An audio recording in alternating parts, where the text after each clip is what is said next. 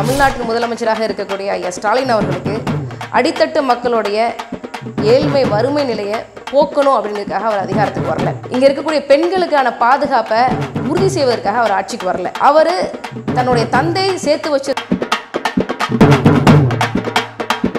கருணாநிதி அவர்கள் பயன்படுத்திய அந்த கண்ணாடிக்கு கூட செலவைக்கட்டும் அவர் போட்டிருந்த மஞ்சள் துண்டுக்கு மட்டும் செலவைக்காதீங்க ஸ்டாலின் தான் வராரு விடியல் தர போறாரு அப்படின்னு சொல்லி நம்பி புதிய சூரியன் சின்னத்துக்கு ரெண்டாயிரத்தி இருபத்தி ஒன்று சட்டமன்ற தேர்தலில் வாக்களிச்ச எல்லா மக்களுக்கும் தலையில போடுறதுக்கு கடவுளுக்கு செலவைக்கிறதே தவறு அப்படின்னு சொல்லி வந்தது தான் திராவிட சித்தாந்தம்.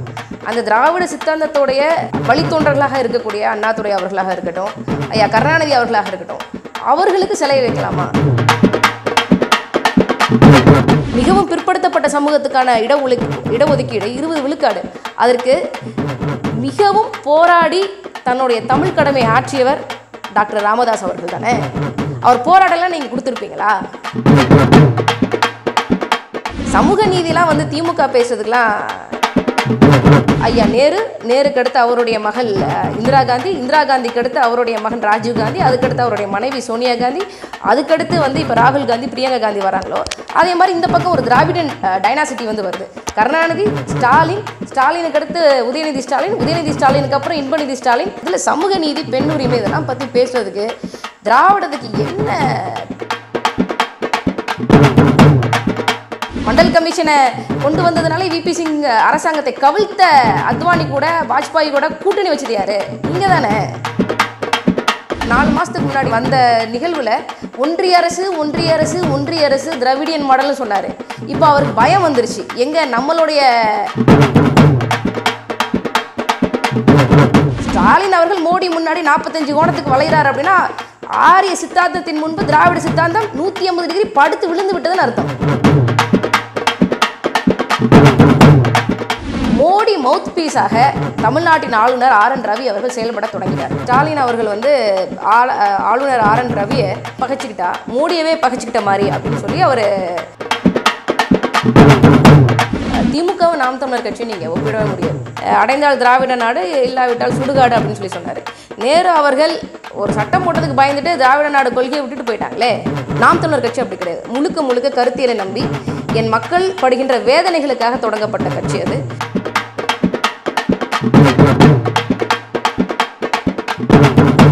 வேலை தூக்காத கட்சி இன்னைக்கு தமிழ்நாட்டில் என்ன இருக்கு? பாஜக தூக்குது.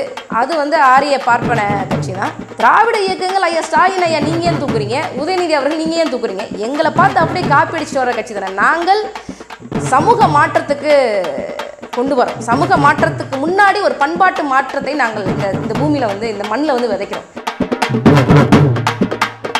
அது அவர்களுக்கு நன்றாக தெரியும். என்னைக்கு அடுத்த ஒரு இந்திய எதிர்ப்பு போராட்டம் இல்லை அது போன்ற ஒரு போராட்டம் என்னைக்கு வரும்? நாம் தமிழர் கட்சிக்கு ஒட்டுமொத்தமாக இந்த தமிழக மக்கள் வாக்களித்து விடுவார்களோ என்கின்ற பயத்தினால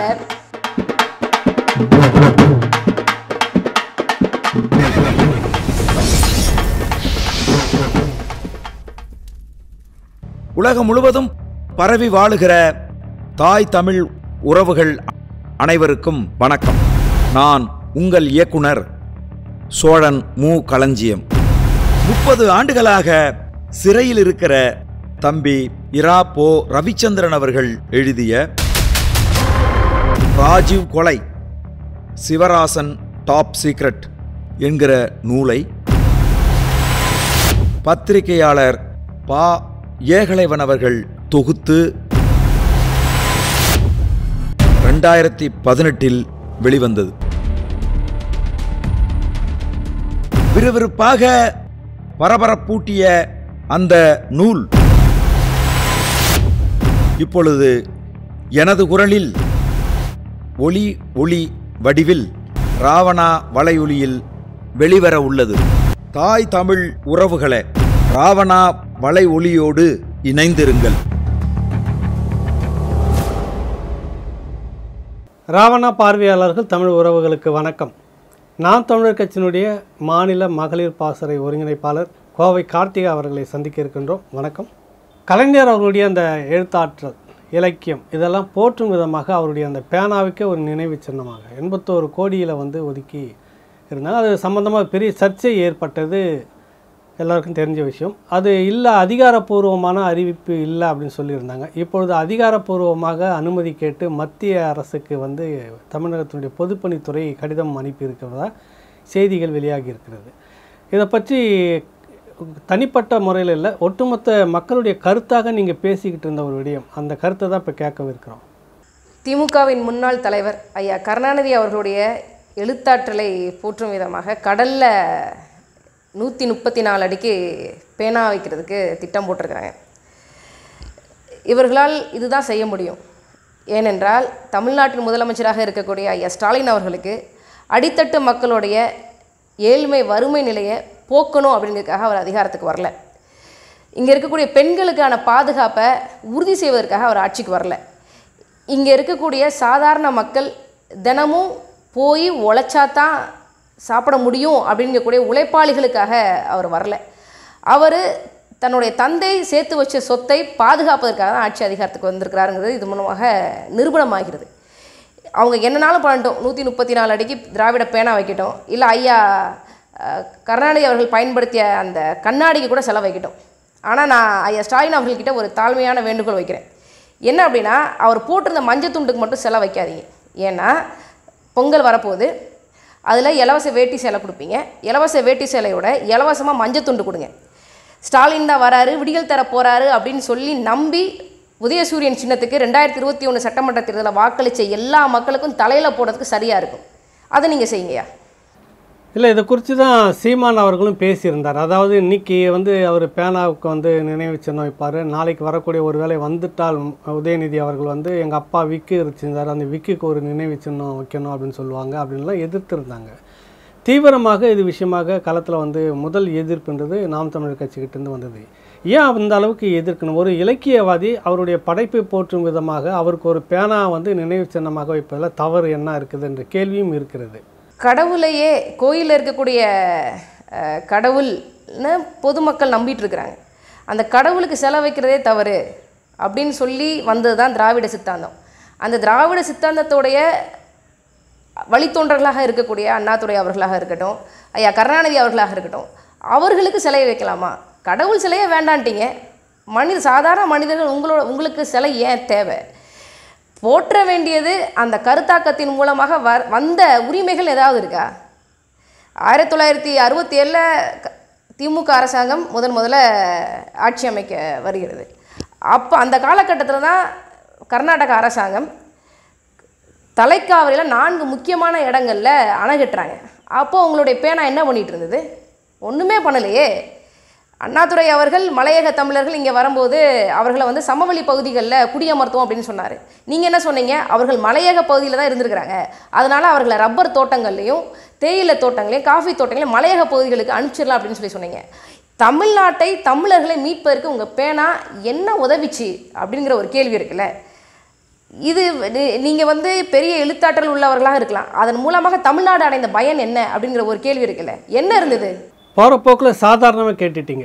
அந்த பேனாதான் கலைஞரின் அந்த பேனாதான் சமூக நீதியை பற்றி பேசியிருக்கிறது எழுதியிருக்கிறது சாதி ஒழிப்பை பற்றி எழுதியிருக்கிறது பெண் உரிமையை பற்றி எழுதியிருக்கிறது தமிழகத்தின் பல்வேறு நலத்திட்டங்களை பற்றி எழுதியிருக்கிறது அந்த பேனா. நீங்கள் போகிற போக்கில் அதை பற்றி சொல்லியிருக்கிறீங்க. ஆயிரத்தி தொள்ளாயிரத்தி எண்பதுங்களையா? மண்டல் கமிஷன் வந்து இருபத்தேழு விழுக்காடு பிற்படுத்தப்பட்ட மக்களுக்கு கொடுக்கணும்னு சொல்லி சொன்னாங்க. ஆயிரத்தி தொள்ளாயிரத்தி தொண்ணூறில் ஐயா விபி சிங் அரசாங்கம் அதை செயல்பாட்டுக்கு கொண்டு வந்தாங்க. அதை முழு மூச்சாக எதிர்த்து அந்த ஆட்சியை கவிழ்த்தது பிஜேபி அந்த பிஜேபி கூட நீங்கள் அடுத்த ஏழு ஆண்டுகளில் கூட்டணி வைக்கலையா? அப்போ உங்கள் பேனா என்ன பண்ணுச்சு? ஒன்றுமே பண்ணலையே. காவிரிக்கான உரிமை இல்லை. இடஒதுக்கீடுக்கு உங்களுக்கு என்ன சம்மந்தம் இருக்குது மிகவும் பிற்படுத்தப்பட்ட சமூகத்துக்கான இட இடஒதுக்கீடு இருபது விழுக்காடு. அதற்கு மிகவும் போராடி தன்னுடைய தமிழ் கடமை ஆற்றியவர் டாக்டர் ராமதாஸ் அவர்கள் தானே? அவர் போராட்டம்லாம் நீங்கள் கொடுத்துருப்பீங்களா? இந்த கேள்வி இருக்குல்ல. சமூக நீதிலாம் வந்து திமுக பேசுறதுக்கெலாம் இல்லை. எப்படி வந்து ஆரியன் டைனாசிட்டின்னு ஒன்று இருக்குதுங்க. ஐயா நேரு நேருக்கு அடுத்து அவருடைய மகள் இந்திரா காந்தி இந்திரா காந்திக்கு அடுத்து அவருடைய மகன் ராஜீவ் காந்தி அதுக்கடுத்து அவருடைய மனைவி சோனியா காந்தி அதுக்கடுத்து வந்து இப்போ ராகுல் காந்தி பிரியங்கா காந்தி வராங்களோ? அதே மாதிரி இந்த பக்கம் ஒரு திராவிடன் டைனாசிட்டி வந்து வருது. கருணாநிதி ஸ்டாலின் ஸ்டாலினுக்கு அடுத்து உதயநிதி ஸ்டாலின் உதயநிதி ஸ்டாலினுக்கு அப்புறம் இன்பநிதி ஸ்டாலின் இந்த கட்சியில் மகளிர் பாசனைன்னு ஒன்று இருக்குது மகளிர் அணின்னு ஒன்று இருக்குது அந்த மகளிர் அணி கூட வெளியே யாருக்கும் போயிடக்கூடாதுன்னு சொல்லி தன்னுடைய மகள் கனிமொழி கருணாநிதியை தான் முன்னிறுத்துறாங்க. அவங்க ஆரியன் டைனாசிட்டி அதை ஒழிக்கணும் அப்படின்னா திராவிடியன் டைனாசிட்டி உங்களையும் ஒழிக்கணும் தானே. இதில் சமூக நீதி பெண் உரிமை இதெல்லாம் பற்றி பேசுறதுக்கு திராவிடத்துக்கு என்ன தகுதி இருக்குது? என்ன அப்படி கேட்டுட்டீங்க நீங்கள் திமுகவுக்கு என்ன தகுதி இருக்கிறதுன்னு சமூக நீதி பற்றி திமுக தான் பேசணும். திமுக தான் சமூக நீதியை சொல்லி அரசியல் பேசணும் ஒரு கட்சி. அப்போ அவங்க பேசாமல் வேறு யார் பேசுவாங்க அப்படின்ற கேள்வி இருக்குதுல்ல? பேசுறது இல்லையா சமூக நீதி? செயல்பாட்டுக்கு கொண்டு வரதானே சமூக நீதி? செயல்பாட்டு கொண்டு வரல அப்படின்னா வந்து அதை செயல்படுத்த தொடர்ச்சியாக போராடியவர்கள் தமிழர்கள். அந்த இருபது விழுக்காடு மிகவும் பிற்படுத்தப்பட்டவருக்கான இடஒதுக்கீடை வந்து ஐயா ராமதாஸ் அவர்களை விட்டுட்டு கருணாநிதி மட்டும் வந்து இந்த பிற்படுத்தப்பட்ட மக்களுக்கான வேலை வாய்ப்புகளை கல்வி வாய்ப்புகளை கொடுக்க வேண்டும் என்பதற்காக அவர் போராடி திமுக சமூக நீதிக்காக போராடியது என்று நம்ம சொல்லலாம். ஆனால் இப்போ சொல்ல முடியாது இல்லையா? மண்டல் கமிஷனை கொண்டு வந்ததுனால விபி சிங் அரசாங்கத்தை கவிழ்த்த அத்வானி கூட வாஜ்பாய் கூட கூட்டணி வச்சது யாரு? நீங்கள் தானே. வாஜ்பாய் கூட்டணி அப்படின்ற பார்த்தா ஞாபகம் வருது. கடந்த முறையும் மோடி பிரதமராக தான் தமிழகம் வந்திருந்தார். அப்பொழுது திமுக எதிர்க்கட்சி இது பல முறை பலரும் பேசிட்டாங்க. எதிர்க்கட்சியாக இருந்தபோது கோ பேக் மோடி அதுக்கு சொன்ன காரணம் மாநில உரிமையை பதி பறிக்கும் விதமாக நசுக்கும் விதமாக காலில் போட்டும் வித மிதிக்கும் விதமாக மோடி நடந்து கொண்டிருக்கின்றார். மாநில அரசு நிறைவேற்றி அனுப்பிய தீர்மானங்களை எதையுமே வந்துட்டு இங்கே ஆளுநர் மூலமாக தடுத்து கொண்டிருக்கிறார்கள். இப்படிலாம் ஒரு குற்றச்சாட்டை வச்சு கோ பேக் மோடி அப்படின்னு சொல்லிட்டு இருந்தாங்க. இப்போவும் அதே மோடி தான் பிரதமராக வருகிறார் அதே பிரதமர் அதே மோடி. ஆளுங்கட்சியாக இருக்கிற திமுக வந்து பட்டு கம்பளம் விரித்து வரவேற்கிறது. திரும்ப திரும்ப நீங்கள் வரணும் தமிழ்நாட்டுக்கு அப்படின்லாம் சொல்லுது. இப்போ இந்த போக்கை நீங்கள் எப்படி பார்க்குறீங்க நீங்கள் இல்லைங்க இப்போ பாஜக வந்து ஒன் நேஷன் ஒன் பார்ட்டிக்கு போயிடுச்சு ஒரே நாடு ஒரே கட்சி ஒரே தேர்தல் அந்த கொள்கைக்கு வந்துட்டாங்க. அதனால் தன்னை எதிர்க்கக்கூடிய காங்கிரஸை தவிர்த்து இருக்கக்கூடிய மற்ற எதிர்க்கட்சிகளெல்லாம் வந்து கொஞ்சம் கொஞ்சமாக வந்து சல்லி சல்லியாக பிரிக்கிறாங்கன்னு சொல்லுவாங்க அந்த மாதிரி பிரிச்சிட்ருக்கேன் இப்போ மகாராஷ்டிராவில் ஏக்நாத் ஷிண்டே அப்படிங்கிறவர் உருவாக்கி சிவசேனா கட்சிக்கு எதிராக கொண்டு வந்தாங்க. உத்தவ் தாக்கரேக்கு எதிராக கொண்டு வந்தாங்க. அதே மாதிரி இப்போ மம்தா பானர்ஜி உங்களுக்கே தெரியும் இந்திய ஒன்றியத்திலேயே இருக்கக்கூடிய ஒரே ஒரு பெண் முதலமைச்சர் அவங்க தான் மம்தாவுடைய மேற்கு வங்காளத்தில் சமீபத்தில் பார்த்தா சட்டர்ஜி அப்படிங்கிறவர் மேலே ஊழல் வழக்கு போட்டு அவரை வந்து கொண்டு வந்துட்டாங்க. இப்படி ஒவ்வொரு எதிர்க்கட்சிகளாக வந்து பலவீனப்படுத்திட்டு இருக்கிறாங்க ரெண்டாயிரத்தி இருபத்தி நாலில் நான் மட்டும்தான் இருக்கணும் அப்படிங்கிறதுக்காக பண்ணிகிட்டு இருக்காங்க அதே நிலைமை தனக்கு வந்துருமோ அப்படிங்கிற ஒரு பயத்தில் ஐயா ஸ்டாலின் அவர்கள் இதுக்கு முன்னாடி வந்த நாலு மாதத்துக்கு முன்னாடின்னு நினைக்கிறேன் வந்த நிகழ்வில் ஒன்றிய அரசு ஒன்றிய அரசு ஒன்றிய அரசு திராவிடியன் மாடல்னு சொன்னார். இப்போ அவருக்கு பயம் வந்துருச்சு. எங்கே நம்மளுடைய கட்சியும் கட்சியையும் இதே மாதிரி ஊழல் வழக்குகளை சிக்க வச்சிருவாங்களோ அப்படின்னு சொல்லி பயப்படுறாரு. ஏன்னா அவருடைய அமைச்சரவை சகாக்கள் எப்படின்றது ஐயா ஸ்டாலின் அவர்களுக்கு ரொம்ப நல்லாவே தெரியல.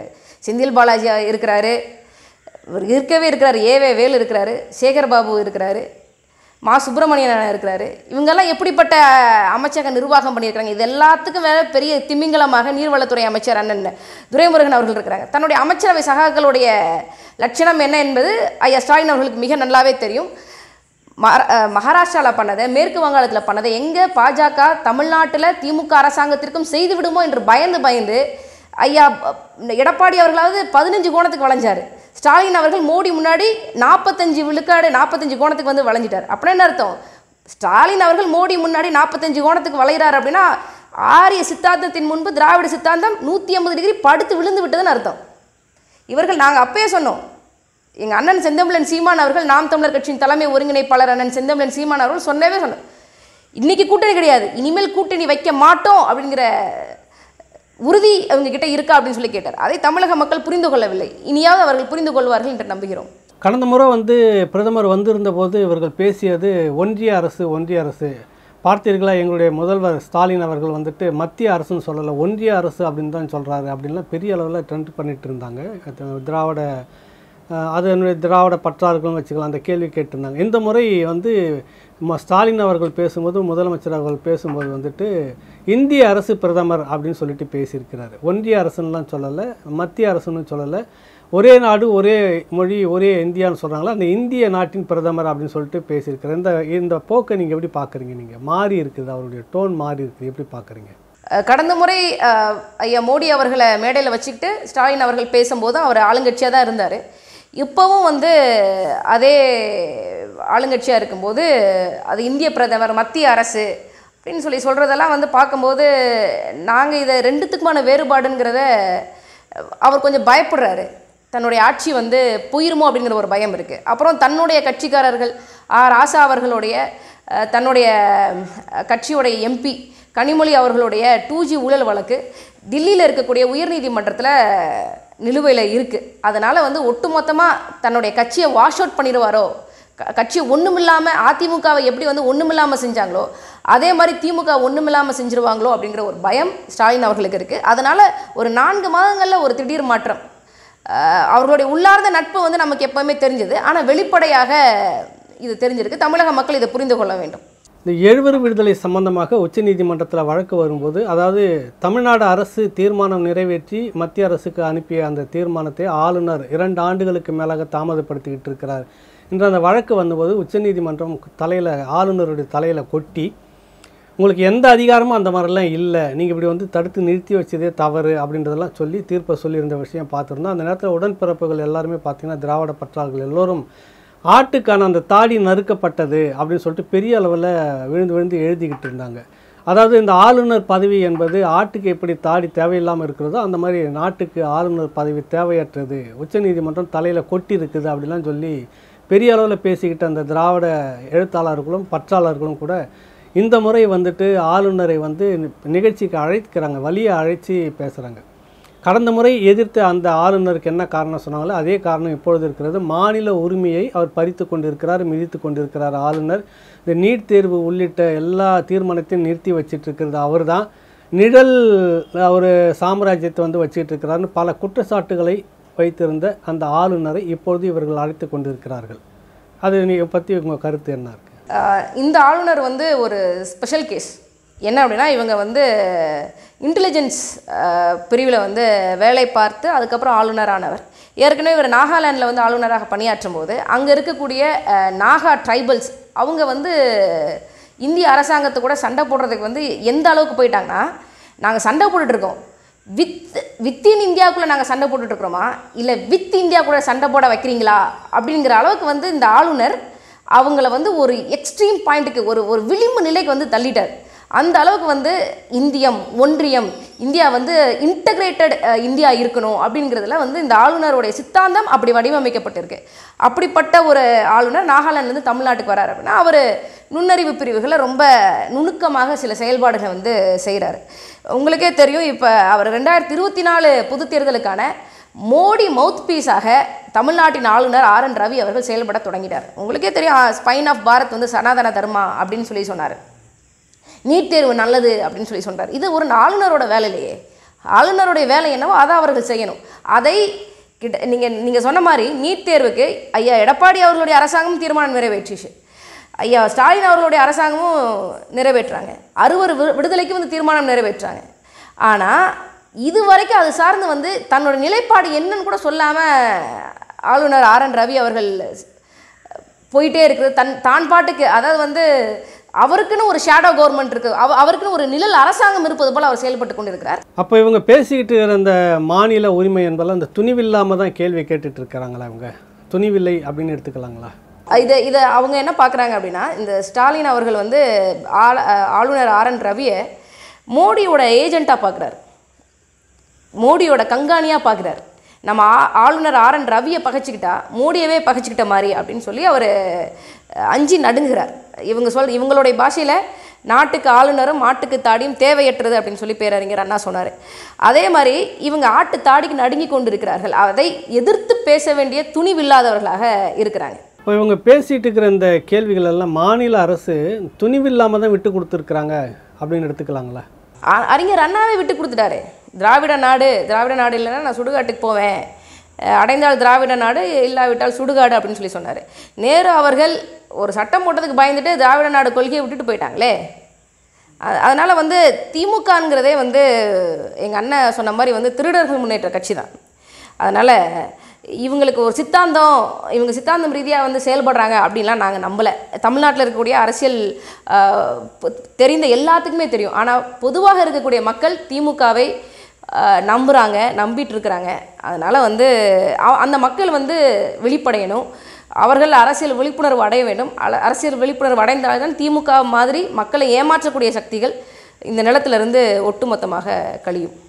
இவ்வளவு பேசிகிட்டு இருக்கிறீங்க நீங்கள் ஆனால் பார்க்க போனால் நாம் தமிழர் கட்சி மக்கள் மத்தியில் ஈடுபடலை. அவங்க பிரச்சாரம் போய் சேரல. பலம் இல்லை. கீழ்மட்ட அளவில் வந்து நிர்வாகம் இல்லை. கட்டமைப்பு இல்லை.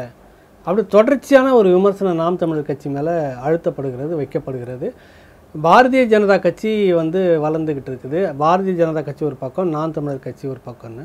சொல்லப்போனால் மக்கள் மத்தியில் திமுகவுக்கு எதிராக களப்பணியாற்றி கொண்டிருப்பது நாம் தமிழர் கட்சி தான் அப்படின்னு சொல்லிட்டு இருக்குது. நாம் தமிழர் கட்சியும் திமுகவும் போட்டி அப்படின்னு எடுத்துக்கலாங்களா? திமுகவுக்கு நாம் தமிழர் கட்சி போட்டின்னு எடுத்துக்கலாங்களா? திமுகவுக்கு போட்டியாக நாம் தமிழர் கட்சியா அப்படின்னு சொல்லி திமுகவை நாம் தமிழர் கட்சியும் நீங்கள் ஒப்பிடவே முடியாது. ஏன்னா திமுக ஆரம்ப காலகட்டத்திலிருந்து சினிமா கவர்ச்சியை நம்பி போட்டிடுது. ஐயா எம்ஜிஆர் ஆயிரத்தி தொள்ளாயிரத்தி அறுபத்தி ஏழு ஐம்பத்தி ஏழில் திமுகவுடைய முதல் தேர்தலுங்க. அப்பையிலிருந்து எம்ஜிஆர் அவர்களுடைய சினிமா வெளிச்சத்தை வைத்து தான் திமுகங்கிற ஒரு கட்சி எம்எல்ஏக்களை பெற்றது எம்பிக்களை பெற்றது. அவர்கள் ஆட்சி அதிகாரத்திற்கு வந்ததுக்கான முதல் காரணமும் சினிமா கவர்ச்சி தான். ஐயா எம்ஜிஆர் மட்டும் இல்லை எஸ் எஸ் ராஜேந்திரன் போன்ற நபர்களுடைய ஒரு சினிமா கவர்ச்சினால தான் வந்தாங்க. நாம் தமிழர் கட்சி அப்படி கிடையாது. முழுக்க முழுக்க கருத்தியலை நம்பி என் மக்கள் படுகின்ற வேதனைகளுக்காக தொடங்கப்பட்ட கட்சி அது. என் மக்கள் தமிழ் தமிழ்நாட்டில் இருக்கக்கூடிய தமிழர்களுக்காக மட்டும் இல்லை ஈழத்தில் இருக்கக்கூடிய தமிழர்களுக்காகவும் உலகெங்கும் பரவி இருக்கக்கூடிய தமிழர்களுக்காகவும் தொடங்கப்பட்ட கட்சி தான். நாம் தமிழர் கட்சி. எங்களுக்கு சினிமா கவர்ச்சி தேவையில்லை. கருத்தியல் கிளர்ச்சி இருந்தாலே போதும். கருத்தியல் மூலமாக வருகின்ற கிளர்ச்சி இருந்தாலே போதும். அதான் நாம் தமிழர் கட்சி. நாங்கள் ஓட்டுக்காக என்றைக்குமே மக்கள்கிட்ட வந்து காசு கொடுத்ததில்ல. நையா பைசா காசு கொடுக்காம நேர்மையாக வாங்கிய வாக்குகள். நாம் தமிழர் கட்சி முப்பத்தோரு லட்சம் வாக்குகளை வாங்கியிருக்கு அப்படின்னா ஒவ்வொரு வாக்குகளும் நேர்மையாக விழுந்த வாக்குகள். மக்கள் நேர்மையாக வாக்களித்த வாக்குகள். திமுக வந்து அப்படி சொல்ல முடியுமா? நீங்கள் கோடி வாக்கு பெறுங்க. கோடி வாக்குக்கு எத்தனை கோடிகளை இறைத்தீர்கள்? அந்த கணக்கு இருக்குல்ல. நாங்கள் நேர்மையாக பயணிக்கிறோம். நேர்மையாக பயணிக்கிறோம்.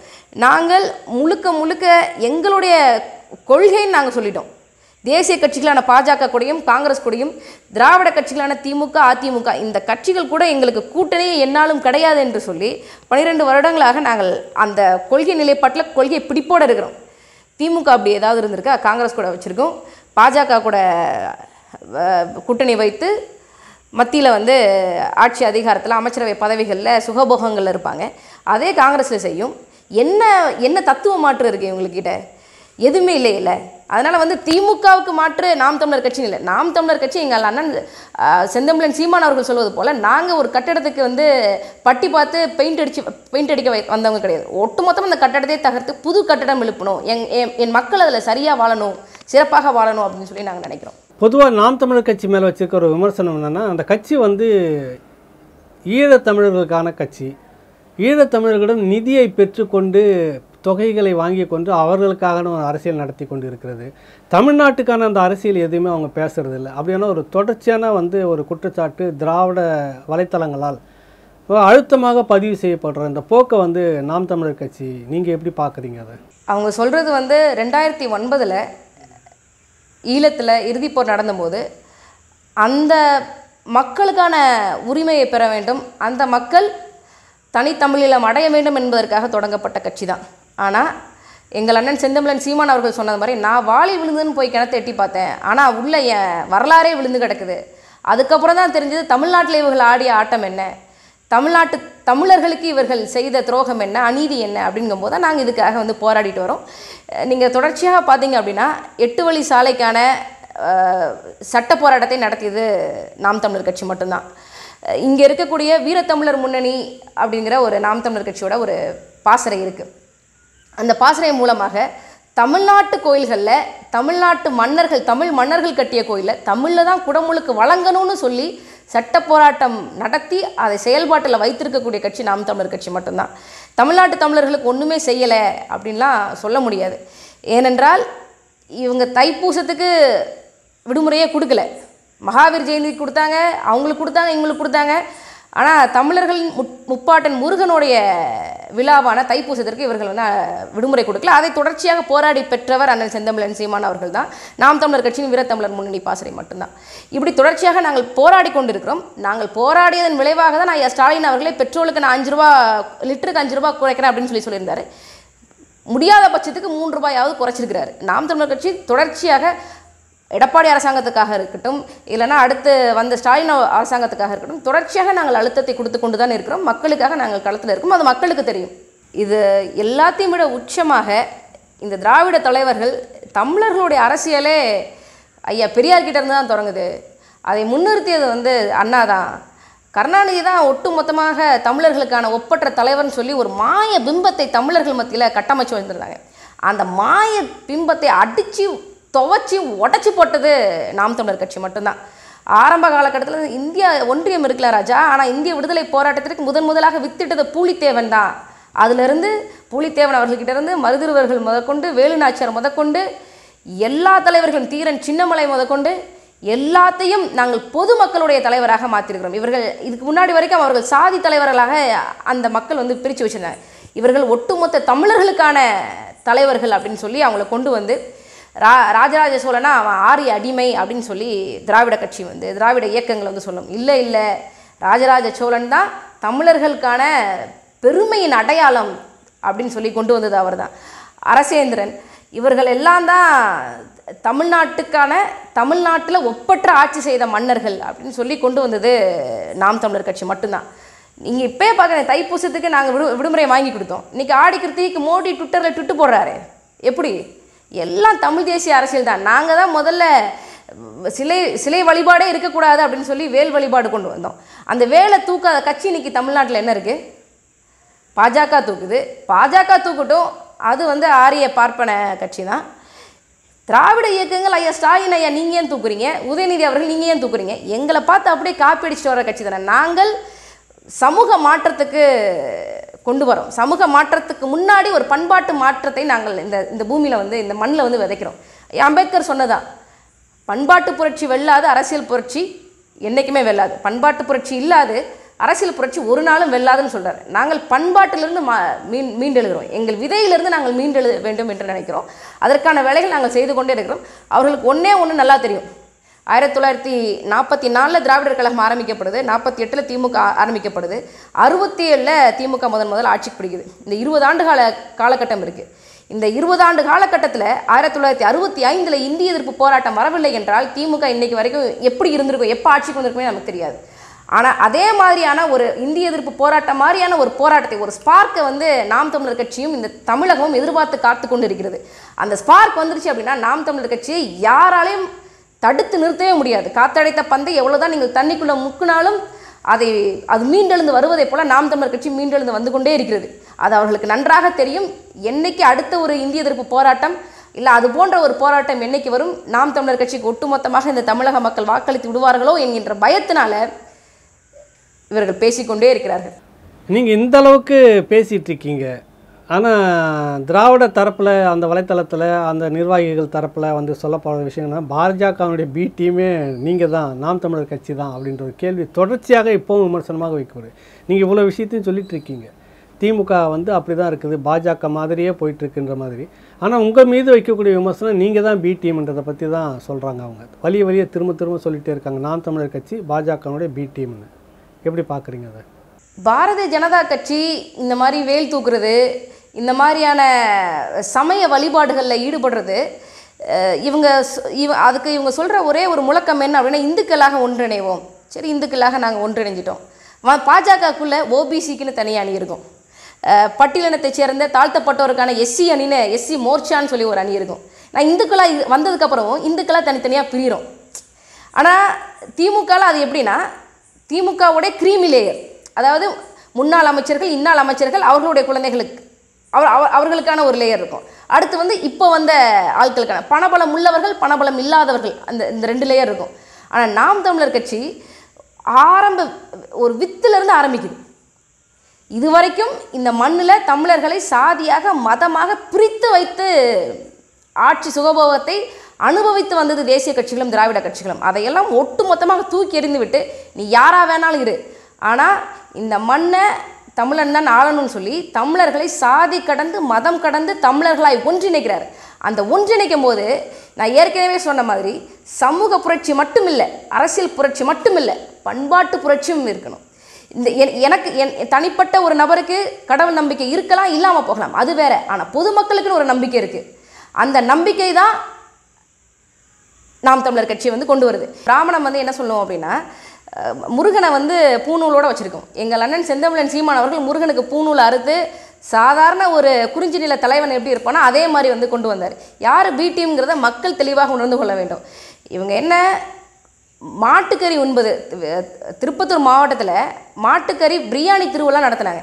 அதில் மாட்டுக்கறி பிரியாணி போடுவேன் அதனால் அந்த த அந்த திருவிழாவே தடை செய் அந்த திருவிழாவே தடை செய்யுங்கிற உத்தரவு வந்து யார் கொடுத்தா? அது மட்டும் இல்லாமல் சேலம் மாவட்டத்தில் இன்றைக்கி என்னென்னா கோயிலுக்கு இரநூறு அடிக்கு பக்கத்தில் பீஃப் சில்லி போடுறாங்க. மாட்டுக்கறியை வந்து பொறிச்சு கொடுக்குறாங்க. அந்த கடை இருக்கக்கூடாதுன்னு சொல்லி அந்த கடையை வைத்திருந்த சிறுபான்மையின அண்ணன் அவ- அவருடைய கடையை ஒட்டுமொத்தமாக ஒழிச்சது திமுக தான். இப்போ நீங்கள் கண்ணை மூடி பார்த்தீங்கன்னா தமிழ்நாட்டில் பிஜேபி ஆட்சி நடக்குதா திமுக ஆட்சி நடக்குதானே தெரியாது. அந்த அளவுக்கு வந்து கோசாலை அமைச்சது யார்? கோசாலை ஆரிய பிராமணத்துடைய திட்டம். அதை எதுக்கு இந்து சமய அறநிலைத்துறை அமைச்சராக இருக்கக்கூடிய P P K Sekar Babu அவர்கள் அதையே வந்து கொண்டு வராரு? யார் பி டீம் இப்போ? இவர்கள் தான் பி டீம் இவங்க இவங்க சொன்ன கடவுள் மறுப்பு கொள்கையை அவங்க வீட்டிலே ஈடுபடலையே. அம்மையார் துர்கா ஸ்டாலின் அவர்களே வந்து அந்த கொள்கையை வந்து ஏற்றுக்கலையே அதனால் வந்து கோசாலயம் அமைப்பது மாட்டுக்கறி சாப்பிடுவதற்கான தடை அடுத்து வந்து இந்த ரோட்டில் போகிறவங்கள வந்து ஜெய் ஸ்ரீராம் கோஷம் போடு அப்படின்னு சொல்லி திமுக காரங்க அடிப்பாங்க. அப்போ தெரியும் தமிழ்நாட்டில் உண்மையிலே பிஜேபியின் பி டீம் யார் என்பது வெகுஜன மக்களுக்கு பொதுமக்களுக்கு அன்னைக்கு தான் தெரியும். இந்த ஜிஎஸ்டி வரி உயர்வுன்றது கடந்த முறையை விட இந்த முறை வந்து இன்னும் அதிகரிச்சிருக்கிறாங்க இன்னும் உயர்த்தி இருக்கிறாங்க இந்த வீடுகளுக்கெல்லாம் பார்த்தீங்கன்னா மால்களுக்கெல்லாம் வந்து ஒரு ஐந்தாறு சதவீதத்துக்குள்ளாக வரியை வந்து உயர்த்தியிருக்கு மின் கட்டண வரியை. வீடுகளுக்கு வந்து பார்த்திங்கன்னா ஒரு ஐம்பது சத ஐம்பத்தி நாலு சதவீத உயர்வு வீடுகளுக்கு. இப்போ இந்த கட்டண உயர்வு இருக்குது. இந்த பக்கம் ஒரு பக்கம் மின் கட்டண உயர்வு அந்த பக்கம் ஜிஎஸ்டி வரி உயர்வு நிறைய விஷயங்களை வந்து ஏற்றிருக்கிறாங்க இந்த போக்கு வந்து மிகப்பெரிய அளவில் மக்களை பாதிச்சிருக்கிறது. எதிர்த்து கேட்க வேண்டிய எதிர்த்து அரசியல் பே- பேச வேண்டிய இது வந்து சரியில்லை அப்படின்னு சொல்ல வேண்டிய மாநில அரசு மௌனமாக இருக்கிறத நீங்கள் எப்படி பார்க்குறீங்க?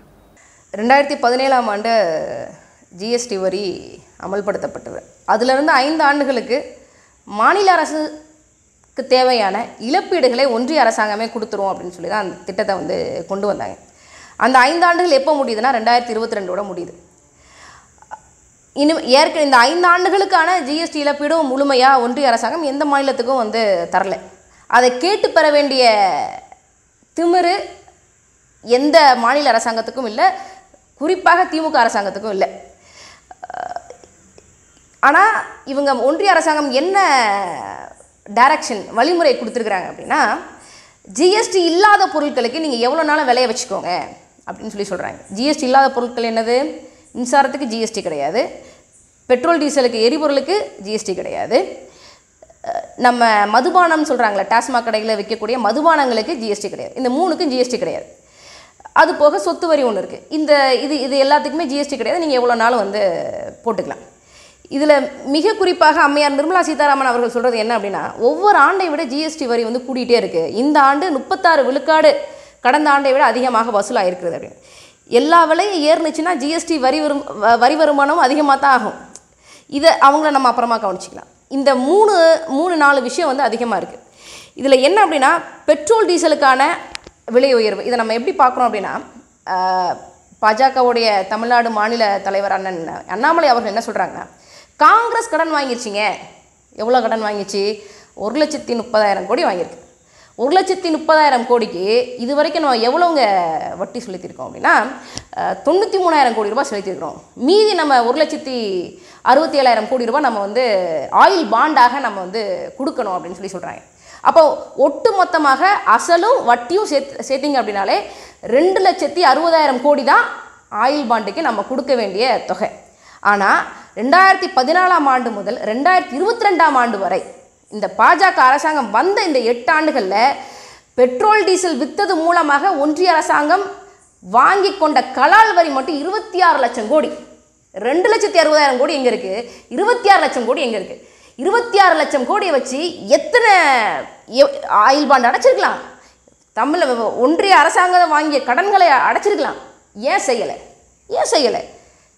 இது ஒரு பக்கம். இது இது பெட்ரோல் டீசலுக்கான இப்போ மின்சாரத்திற்கு அண்ணன் செந்தில் பாலாஜி அவர்கள் வந்து என்ன சொல்கிறாங்க அப்படின்னா ஒன்றிய அரசாங்கம் இருபத்தெட்டு முறை கடிதம் எழுதி எங்களை வந்து ப்ரெஷர் பண்ணிடு எங்களை வந்து அழுத்தத்துக்கு உள்ளாக்கியது. அதனால் நாங்கள் வந்து உயர்த்திட்டோம் அப்படின்னு. இது கூட நான் மன்னித்து விட்டுருவேன். அதுக்கு வந்த அண்ணன் அண்ணாமலை அவர்கள் தமிழ்நாடு முழுக்க வந்து போராட்டம் பண்ணுறார் என்ன ஒரு ஒரு முறை கடிதம் ஒன்றிய அரசாங்கம் என்ன சொல்லி கடிதம் எழுதுது அப்படின்னா மானிய உதவி பத்தாயிரத்தி இரநூத்தி முப்பது கோடி ரூபா நான் நிறுத்திடுவேன் அப்படின்னு சொல்லுது. திட்டங்களுக்கான கடன் உதவி முப்பதாயிரத்தி எண்பது கோடி ரூபாயை நான் நிறுத்திடுவேன்னு சொல்லுது. இது- இதை விட மிக மோசமாக இனிமேல் தமிழ்நாடு அரசாங்கம் தனக்கென்று புதிய திட்டங்கள் எதையும் போடவே முடியாதுன்னு சொல்லுது. எவ்வளோ திமுர் இருக்குன்னு பாருங்கள் இது எல்லாத்துக்கும் மீறி இந்திய ஒன்றிய அரசாங்கம் ரிசர்வ் பேங்க் ஆஃப் இந்தியா ஆர்பிஐக்கு வந்து ஒரு கடிதம் எழுது. என்ன எழுதுதுன்னா டிஎன்இபி தமிழ்நாடு மின்சார வாரியத்தை வைத்து எந்த கடன் வந்தாலும் அதற்கு கடனை ரிலீஸ் பண்ணக்கூடாது. அப்படின்னு சொல்லி இந்திய ஒன்றிய அரசாங்கம் ஆர்பிஐக்கு இந்தியன் ரிசர்வ் வங்கிக்கு கடிதம் எழுது நீங்கள் பாருங்கள் ஒன்றியம் வெளிச்சந்தையிலேருந்து வாங்கக்கூடிய கடனுக்கான வட்டி ஏழு விழுக்காடு. ஆனால் மாநில அரசாங்கம் வெளிச்சந்தையிலிருந்து வாங்கக்கூடிய கடன்களுக்கான வட்டி விழுக்காடு பத்து. இதை எல்லாம் விட மிக மிக ஒரு ஒரு ஒரு மாநில அரசாங்கத்துடைய தன்னாட்சி உரிமையை அடித்து நொறுக்குகின்ற விஷயமாக ஆத்ம நிர்பார் பாரத்னு ஒரு திட்டம் இருக்குது மேக் இன் இந்தியா இந்த மாதிரியான திட்டங்களுக்கு.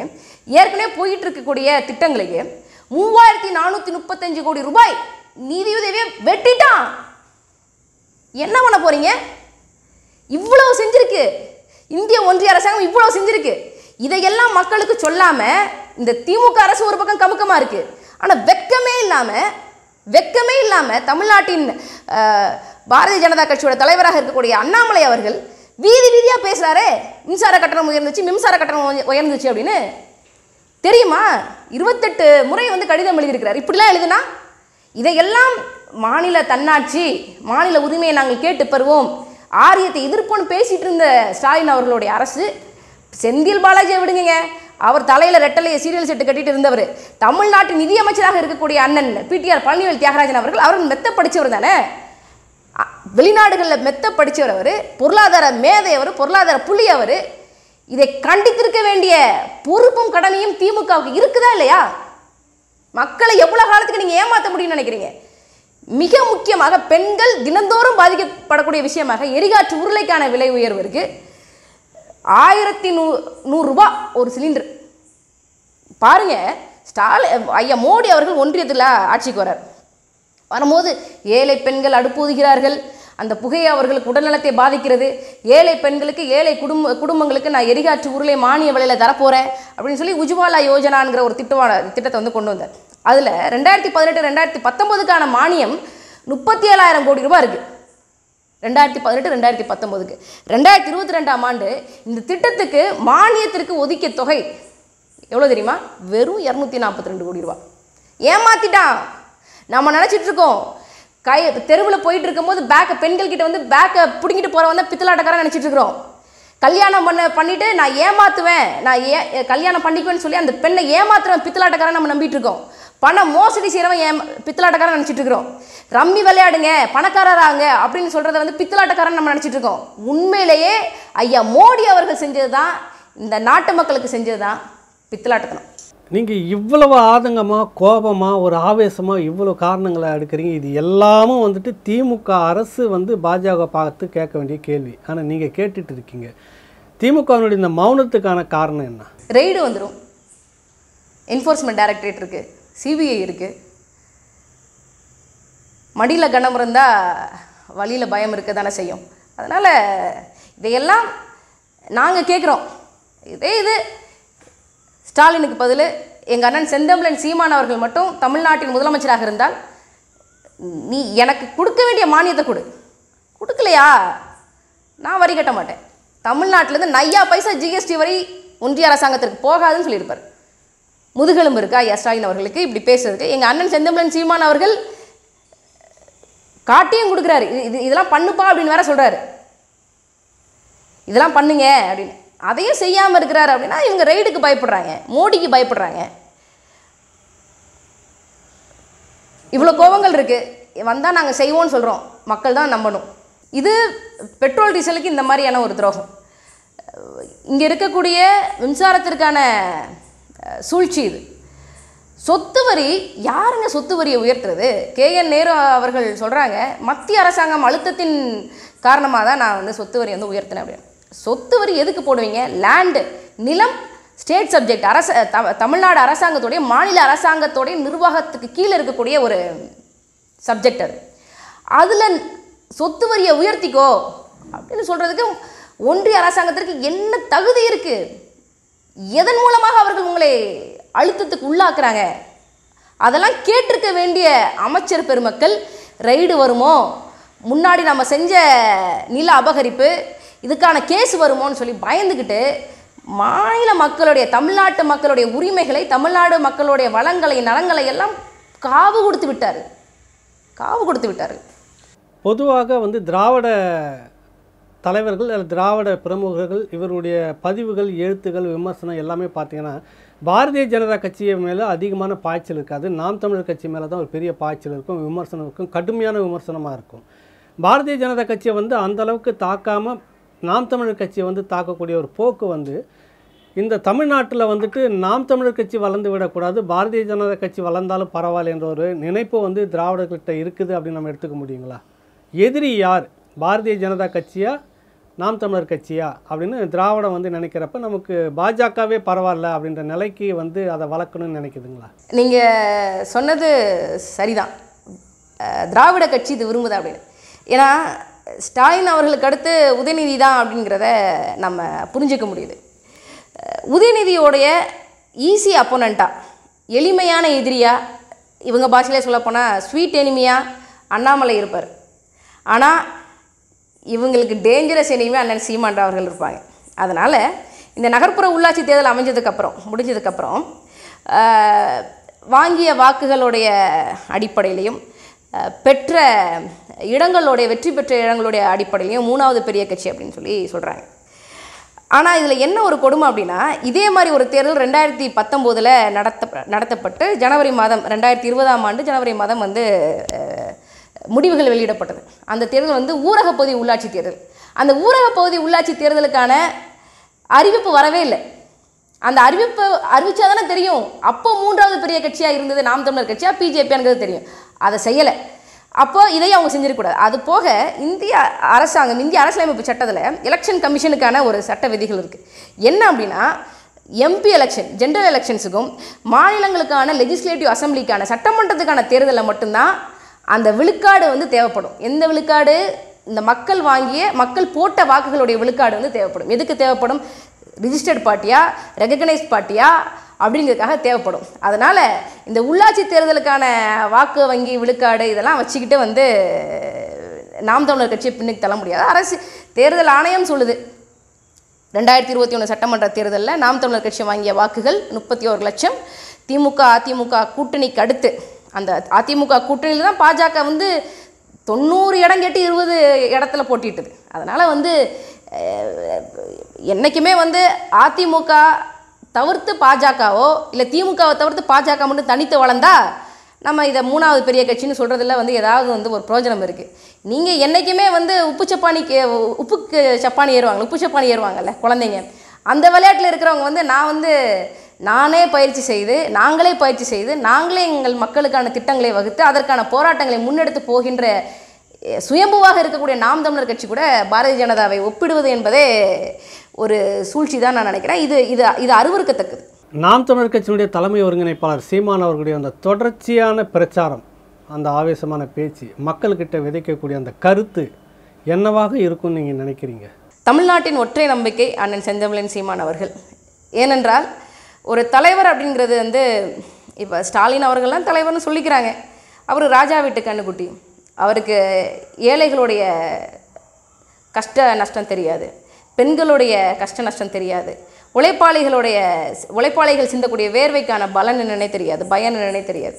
ராஜா வீட்டு கண்ணுக்குட்டிகள். ஆனால் எங்கள் அண்ணன் செந்தமிழன் சீமான் அவர்கள் அடித்தட்டு மக்களாக இருந்தவர். ஏழை எளிய மக்களுடைய உணர்வுகளை புரிந்தவர் பெண்களுக்கான இடஒதுக்கீடை கொடுத்தவர் பெண்களுக்கான பாதுகாப்பை உறுதி செய்தவர். அரசியல் கட்சியில் இன்றைக்கி ஒரு ஒரு ஒரு அரசியல் இயக்கத்தில் தமிழ்நாட்டில் இருக்கக்கூடிய அரசியல் இயக்கங்களில் பெண்கள் இவ்வளோ தூரம் வந்து பொதுவெளியில் பேச முடியுது அப்படின்னா அது நாம் தமிழர் கட்சியில் மட்டும்தான். அண்ணன் வந்து பண்பாட்டு புரட்சியை மட்டும் இல்லாமல் சமூக புரட்சியும் சேர்த்தே செய்கிறார் சாதி கடந்து மதம் கடந்து தமிழர்களை இணைத்தது ஒரு ஒரு விஷயம். ஆனால் பெண்களை சாதி கடந்து மதம் கடந்து இணைப்பதுங்கிறது ரொம்ப கடினமான விஷயம். ஏன்னா இவ இவர்களுடைய சாதி மதம் எல்லாம் பெண்கள்கிட்ட தான் இருக்கும். அந்த பெண்களை வந்து சாதி கடந்து மதம் கடந்து தமிழர் என்ற உணர்வு பெற்று வான்னு சொல்லி பெண்களை கொண்டு வருது அதுதான் சமூக புரட்சி. அதை செய்தவர் வந்து அண்ணன் செந்தமிழன் சீமான் அவர்கள். தமிழ்நாட்டு மக்களை விஜய் பின்னாடி அஜித் பின்னாடி சினிமா மோகம் பின்னாடி கிரிக்கெட் மோகம் கொண்டு இருந்த இளைஞர்களை பெருவாரியாக அரசியலுக்குள்ளே கொண்டு வந்து உனக்கான அரசியல் தான் இது.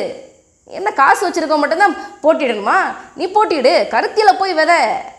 ஓட்டு போடுறது போடாது அடுத்து. நீ செய்ய வேண்டியதை செய்யன்னு சொல்லி எத்தனை லட்சம் இளைஞர்களை அரசியல் படுத்தியிருக்கிறார் அவர். இந்த சமூக புரட்சி பண்பாட்டு புரட்சி அரசியல் புரட்சி கட்டாயம் வரும். ஏனென்றால் எங்களுக்கு ஒரு நோக்கம் இருக்குது நீண்ட நெடிய பயணம் இது. உடனே வரும் நாங்கள் நினைக்கல. ஆனால் எங்கள் மக்கள் எங்களை கைவிற்ற மாட்டார்கள் என்கின்ற நம்பிக்கையும் இருக்குது தமிழ்நாட்டில் இத்தனை பிரச்சனைகள் இருக்குது இத்தனை பிரச்சனைகளுக்கு மிக முக்கிய காரணம் ஐயா கருணாநிதி தான். அதுக்கடுத்து வந்த எம்ஜிஆர் அதுக்கடுத்து வந்த ஜெயலலிதா இவங்க தான் காரணம் என்று ஒட்டுமொத்தமாக அரசியலை எளிமைப்படுத்தி சொன்னதிலே வந்து தமிழ்நாட்டின் ஒற்றை நம்பிக்கை அண்ணன் செந்தமிழன் சீமான் அவர்கள் மட்டும்தான். நல்லது உங்களுடைய வேலைகளுக்கு மத்தியில் ராவண பார்வையாளர்களுக்காக முதன்முறையாக நேரம் ஒதுக்கும் நேர்காணல் கொடுத்தமைக்கு நன்றி வணக்கம். நன்றி வணக்கம். நாம் தமிழர். உலகம் முழுவதும் பரவி வாழுகிற தாய் தமிழ் உறவுகள் அனைவருக்கும் வணக்கம். நான் உங்கள் இயக்குனர் சோழன் மு. களஞ்சியம். முப்பது ஆண்டுகளாக சிறையில் இருக்கிற தம்பி இரா போ. ரவிச்சந்திரன் அவர்கள் எழுதிய ராஜீவ் கொலை சிவராசன் டாப் சீக்ரெட் என்கிற நூலை பத்திரிகையாளர் பா. ஏகலைவன் அவர்கள் தொகுத்து ரெண்டாயிரத்தி பதினெட்டில் வெளிவந்தது. விறுவிறுப்பாக பரபரப்பூட்டிய அந்த நூல். இப்பொழுது எனது குரலில் ஒளி ஒளி வடிவில் ராவணா வலையொலியில் வெளிவர உள்ளது. தாய் தமிழ் உறவுகளே ராவணா வலை ஒளியோடு இணைந்திருங்கள்.